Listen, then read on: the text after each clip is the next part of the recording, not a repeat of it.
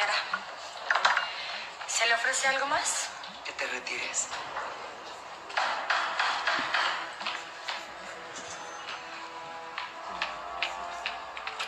Buenos días, María. Buenos días. ¿Le avisas a don Benjamín que estoy aquí, por favor? Es urgente que me reciba. Buenos días. El licenciado Cervera quiere ver a don Benjamín. Dice que es urgente. Sí, hijita, lo estaba esperando. Licenciado. Padre, ¿cómo está usted? Pase por acá, por favor. pero yo llegué primero. Y también es muy urgente lo que tengo que hablar con Benjamín. Señora, disculpe usted. Venga, licenciado. Sí, padre. Vamos al despacho, que quiero ponerlo al tanto de todo. Bien, padre. Uy, no sabes cómo me choca esa vieja. Se cree una señora muy distinguida, pero es una hipócrita. María, por favor. Es la verdad, Alejandro. Ha sido la amante del patrón durante muchos años. Y claro, como era de esperarse ahora que el viejo se va a morir, viene a ver qué le saca. María, tú no tienes por qué meterte en eso. Nosotros somos únicamente empleados de don Benjamín, que no se te olvide. Bueno, no te enojes conmigo. Siento frío.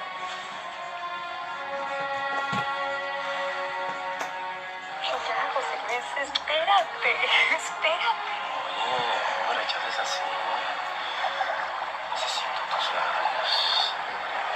Ay,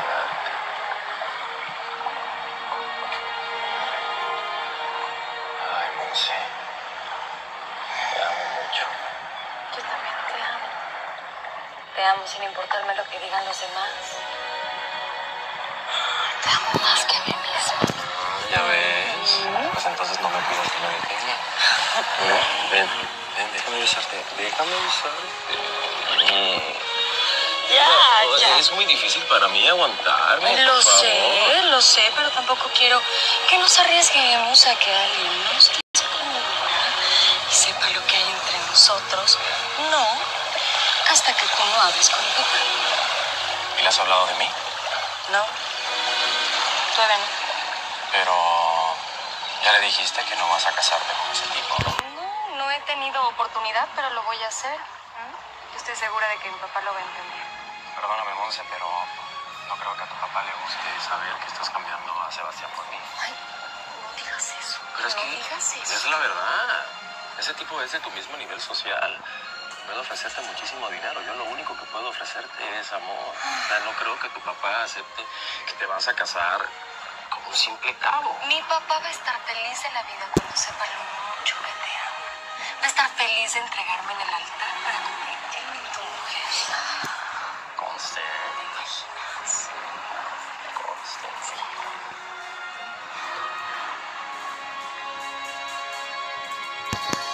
Montserrat. Sebastián, es cierto. Hablar con él. No, no, no, no, yo soy la que tiene que hablar con él. Espérame. Espérame, por favor. Sebastián, por favor, déjame explicarte. Déjame explicarte. Te juro que te traté de localizar por todos los medios posibles. Pero en Inglaterra nunca te localicé para decirte que lo nuestro ya se acabó. Yo pensé que querías que me regresara antes, pero jamás pensé que... Que me enamorara de otro hombre. Perdóname. Perdóname, Sebas, pero es que tú te fuiste. Me dejaste muy sola. Ya pasaron tres años. Mira, no tienes nada que explicarme. ¿eh? Con lo que acabo de ver es suficiente. Sebas, yo tenía 16 años. Ni siquiera sabía bien lo que quería. Mi mamá me, me, me impulsó, me, me, me orilló a decirte que sí. Pero realmente yo nunca he estado enamorada de ti.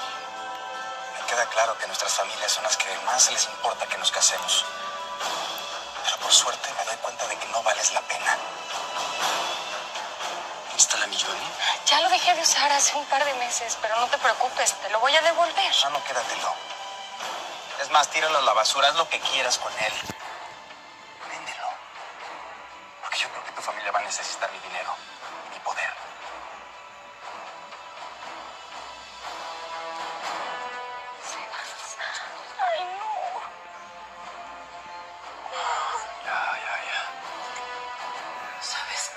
me afecta verte así, Benjamín?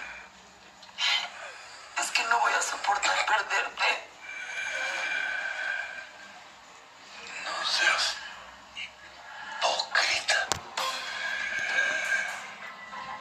Una mujer como tú, Graciela, no tiene sentimientos. Mi nombre licenciado Cervera. Me imagino que se trata de tu notario. Sí, así es.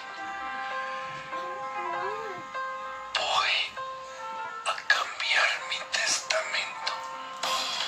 Gracias, Benjamín. Gracias. No, cuidado, Graciela. No me des las gracias todavía. Pero yo te supliqué que fueras generoso conmigo por todo lo que te di.